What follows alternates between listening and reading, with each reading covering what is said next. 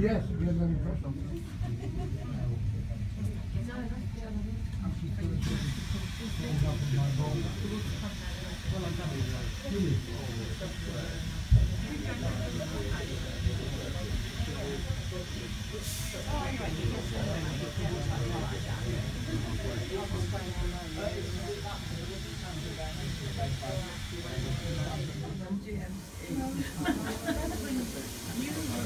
Thank